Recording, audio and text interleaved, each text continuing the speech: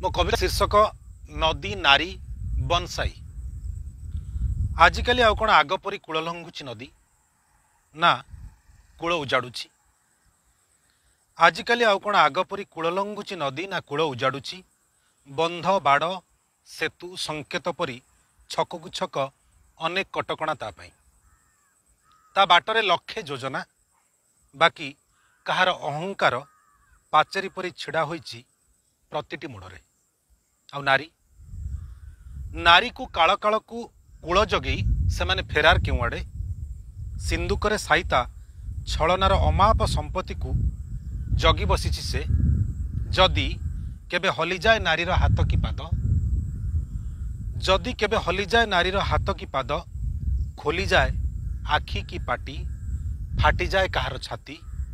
ନାରୀ ହସିଲେ ସେମାନଙ୍କର ସବୁ ସୁଖ ପ୍ରଜାପତିରୁ ସମ୍ବାଳୁଆ ପାଲଟିଯାଏ। ନାରୀ ହସିଲେ ସେମାନଙ୍କର ସବୁ ସୁଖ ପ୍ରଜାପତିରୁ ସମ୍ବାଳୁଆ ପାଲଟିଯାଏ। ନାରୀର ଲୁହ କାନ୍ଦୁରା ମୁହଁ ସେମାନଙ୍କ ଶୋଇବା ଘର କାନ୍ଥରେ ଫ୍ରେମ୍ ଭିତରେ ଝୁଲୁଥାଏ। ନଦୀ ଫୁଲିଲେ ଅନେକ ଭୟ। ନଦୀ ଫୁଲିଲେ ଅନେକ ଭୟ। ଉଜୁଡ଼ି ଯାଇପାରେ ଗାଁ ଗଣ୍ଡା ଜନପଦ। ଭସେଇ ନେଇପାରେ ଢିଙ୍କି ଚକି ବନ୍ଧ କବାଟ। ନଦୀରେ ବୁଡ଼ି ମରେ ବଢ଼ିଲା ଝିଅର ପାପଗର୍ଭ ନାରୀ ନାରୀ ପାଇଁ ତ ଅନେକ ଆକଟ। ନାରୀ ପାଇଁ ତ ଅନେକ ଆକଟ ତାକୁ ଦେବାକୁ ପଡ଼େ ତାର ପ୍ରତିଟି ହସ ଆଉ ଲୁହର ହିସାବ। ନାରୀ ପାଇଁ ଅନେକ ଆକଟ ତାକୁ ଦେବାକୁ ପଡ଼େ ତାର ପ୍ରତିଟି ହସ ଆଉ ଲୁହର ହିସାବ। ହଁ ଅବଶ୍ୟ ନାରୀ ଗୋଟେ ନୌକା ପରି।